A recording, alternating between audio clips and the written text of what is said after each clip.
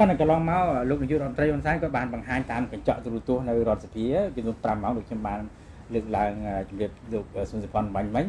កតទៅនឹងការបំភ្លឺការបោះបង្គោលព្រំដែនដោយសារតែមានការចម្រូងចម្រាសនៅពេលដែលមានការបោះឆ្នោតម្ដងម្ដងអ្នកនយោបាយតែងតែយកបញ្ហាព្រំដែនធ្វើជាប្រធានបទដើម្បីដណ្ដើមស្លឹកឆ្នោតដោយសារតែមានបញ្ហានេះហើយបានលោកបានខិតខំនៅក្នុងអាណត្តិកន្លងទៅហ្នឹងគឺយកផែនទីពីអន្តរជាតិមកគូគងនឹងផែនទីនៅក្នុងស្រុក ឃើញថាវាសង់តង់គ្នានឹងអាចបោះបង្គោលព្រំដែននេះឡើងដូច្នេះអ្នកនយោបាយចេះតែលើកយកនៅប្រធានបទហ្នឹងយកមកនិយាយដដែលជាដដែលអញ្ចឹងលោកយល់យ៉ាងម៉េចដែរចំពោះការលើកឡើងរបស់អ្នកនយោបាយមួយចំនួនដែលមិនចង់ឲ្យនិយាយខ្ញុំខ្ញុំចង់និយាយថា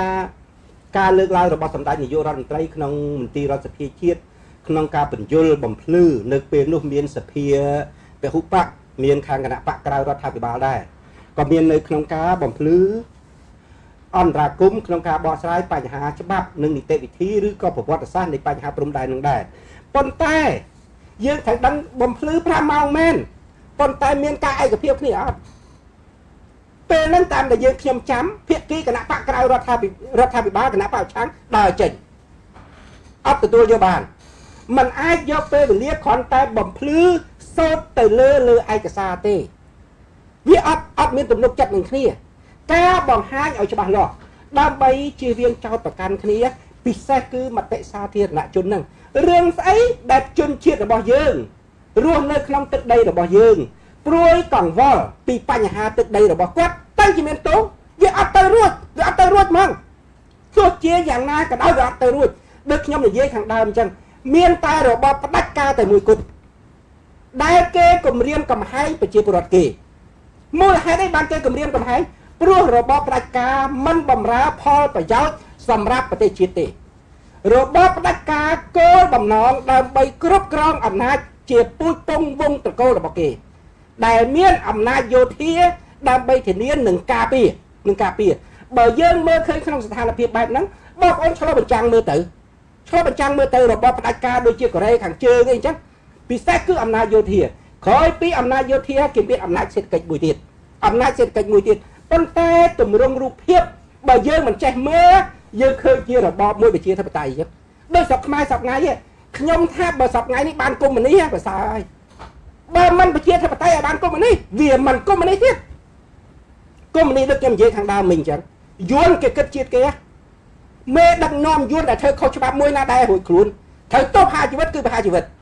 ហើយនៅយើងឆ្លោះបញ្ចាំងមកមើលមេដឹកនាំខ្មែរមើលហើយទៅមើលមេដឹកនាំយួនណាមានលុយវល់លៀនវល់កោតឃើញអញ្ចឹងកុំនេះរបៀបម៉េចខ្មែរហ្នឹងខ្មែរហ្នឹងប្រជាធិបតេយ្យរបៀបម៉េច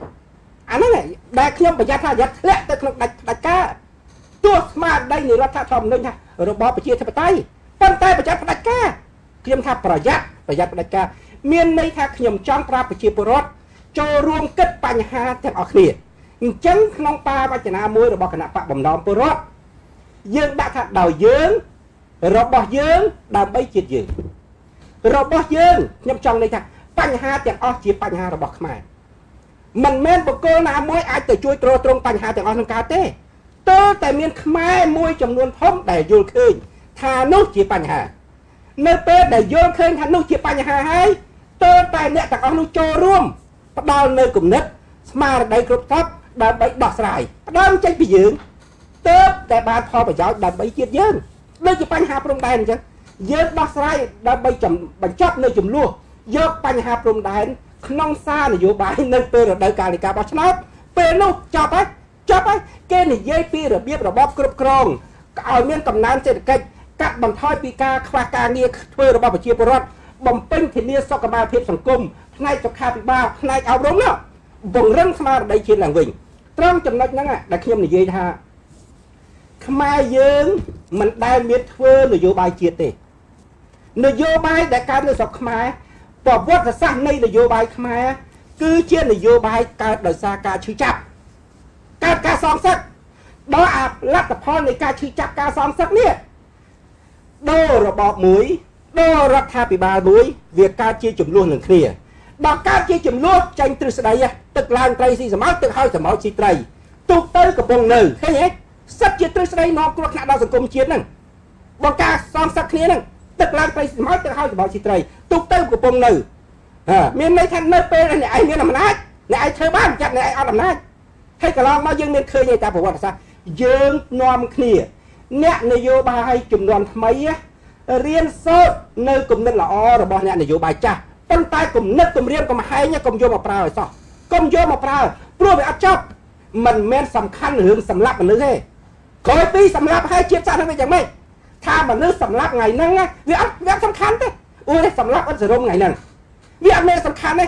កុំតែងាប់ឲ្យរឿងអត់សរុបប៉ុន្តែទឹកដីនេះវានៅតែបើអត់សរុបគាត់មិនមានគំនិតគិតពីបញ្ហាជាតិរបស់វាគាត់ឲ្យទៅនិយាយទៅវាអត់មានតែប៉ះពាល់ឲ្យទៅខូចខាតទេក្នុងនាមជាជនជាតិមួយតាក្នុងនាមជាជនជាតិមួយតាអញ្ចឹងទំនាស់នយោបាយរបស់ខ្មែរ បើអ្នកនយោបាយខ្មែរមានគោលនយោបាយពិតប្រាកដថាធ្វើនយោបាយដើម្បីជាតិមែនណាយើងអត់យកសារនយោបាយឲ្យកើតជាចំនួនទេឲ្យកើតជាចំនួនទេដូចខ្ញុំនិយាយពាក្យថាកាត់ដី40ហិកតាមិនពាក្យថាកាត់ការផ្ដាល់ការអីក៏ដោយមានន័យថាយើងបើយើងគួរសួរសម្រាប់ខ្ញុំធ្វើការលើរឿងហ្នឹងវិញណាត្រូវសិក្សាពីដំណើរការដី40ហិកតាតាមបកស្រាយរបស់អាជ្ញាធរដែនដី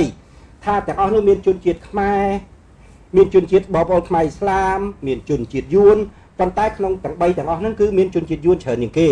50%ឬក៏ក្បែរនឹង50%អញ្ចឹងទៅ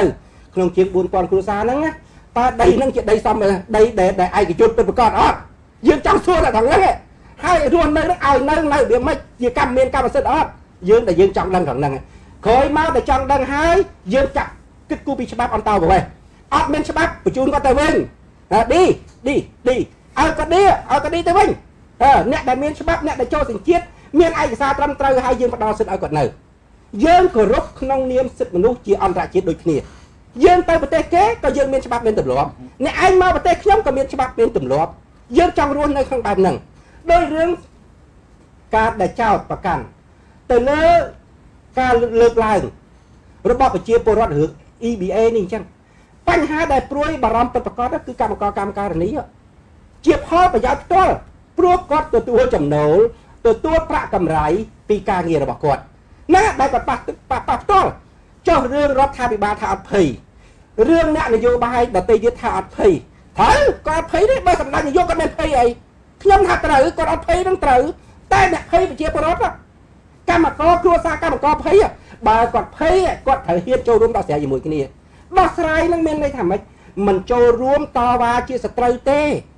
យើងហ៊ានបញ្ចេញមតិក្នុងនាមជាយើងកម្មករយើងអាចផ្ញើសារថាខ្ញុំជាកម្មករសូមឲ្យរដ្ឋាភិបាលកុំឲ្យបាត់បង់ ABA សូមឲ្យរដ្ឋាភិបាលមានការគោរពសិទ្ធិមនុស្សសិទ្ធិនយោបាយព្រោះអ្នកទាំងអស់នោះជាជាតិសាសន៍របស់យើងឧទាហរណ៍អានេះខ្ញុំខ្ញុំគិតថាឧទាហរណ៍អញ្ចឹងគាត់ត្រូវបញ្ចេញសារបែបហ្នឹងសារបែបហ្នឹងមិនបាច់ដើរទាំងវងទាំងវាយរាប់ពាន់រាប់ម៉ឺនអ្នកទេណាឲ្យយើងតែមានសារបែបហ្នឹងក៏ទៅដែរតែបើយើងមានសិទ្ធិសម្ដែងមតិ ថងនឹងហើយនៅក្នុងគោលការណ៍ប្រជាធិបតេយ្យគេហៅថាតលយៈភាពរវាងអំណាចរដ្ឋនិងប្រជាពលរដ្ឋ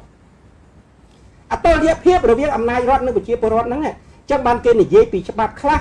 ក្នុងការប្រើកងកម្លាំងរបស់រដ្ឋឲ្យមានតលយៈភាពគ្នានឹងកម្លាំងនឹងកម្លាំងប្រជាពលរដ្ឋឧទាហរណ៍ប្រជាពលរដ្ឋធ្វើបាតកម្ម1000នាក់ដល់កម្លាំងសម្រាប់មកការពារបាតកម្មបាតកោ2000នាក់ សិទ្ធដែលប្រដាប់អាវុធធុនធ្ងន់សិទ្ធខែវាអត់ត្រូវអាហ្នឹង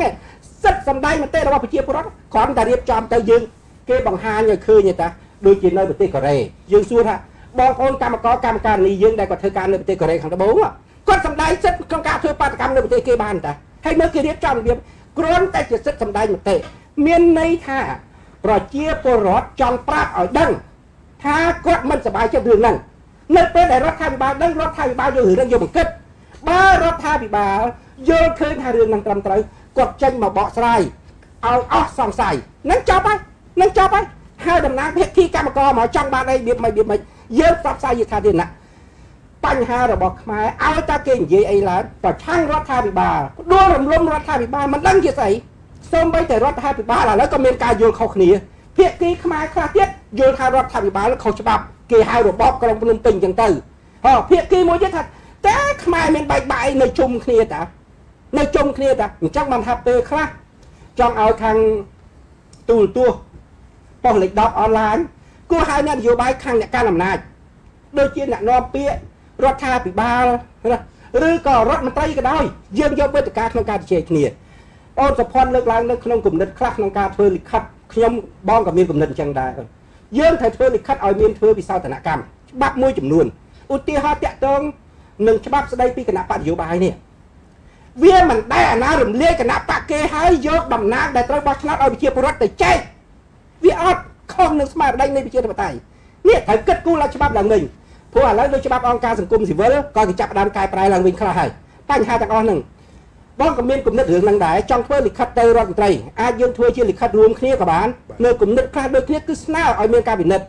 នៅពេលដែលចូលប្រជុំនៅក្រសួងសុខាភិបាលនៅក្រសួងមហាផ្ទៃ បងបានលើកឡើងពីបញ្ហាហ្នឹងហើយសូមឲ្យពិនិត្យច្បាប់ហ្នឹងឡើងវិញព្រោះច្បាប់ស្ដីពីគណៈបកនយោបាយវាប៉ះពាល់ផលប្រយោជន៍ខ្លាំងជាងគេគឺតួអង្គនៃអ្នកនយោបាយនៃគណៈបកនយោបាយដល់អញ្ចឹងប្រជាពលរដ្ឋច្បាប់ពាណិជ្ជកម្មទៅអត់ខលទេអញ្ចឹងអ្នកនយោបាយដែលសំខាន់ណាដែលត្រូវចូលរួមត្រួតពិនិត្យលើមាត្រាលើប្រការនៃច្បាប់ហ្នឹងដើម្បីឲ្យច្បាប់ហ្នឹងឆ្លុះបញ្ចាំងស្របតាមស្មារតីនៃរដ្ឋធម្មនុញ្ញស្របតាមគោលការណ៍សេរីប្រជាធិបតេយ្យសេរីពហុបកពហុបកកុំឲ្យយើងឃើញសពថ្ងៃ គណៈបកកាន់អំណាចគាត់ថាគាត់ធ្វើអីបានទាំងអស់ឯងធ្វើឡើងប្រឆាំងឯងធ្វើឡើងចាំផ្ដួលរំលំឲ្យតែនិយាយអីដឹងតែចោតយកហ្មងវាពិបាកត្រង់ហ្នឹងយើងថាស្មារភាពគ្នាចំពោះមុខច្បាប់មិនយូរយូរទៅដូចខ្ញុំធ្លាប់នៅ LDP អញ្ចឹងស្រុកខ្មែរស្រុកអ្នកខ្លាំងឈ្នះអ្នកខ្លាំងធ្វើអីក៏ត្រូវ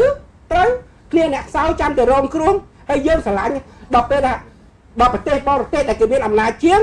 តវ៉ាថាអូមិនចោះញោមមានន័យថាប្រើភាសាដូចខ្លាចចុះមិនធ្វើឲ្យខ្មែរស្រឡាញ់គ្នាទៅចប់ហើយ នេះដែលត្រូវដោះស្រាយដោះស្រាយបញ្ហាខ្មែរទៅ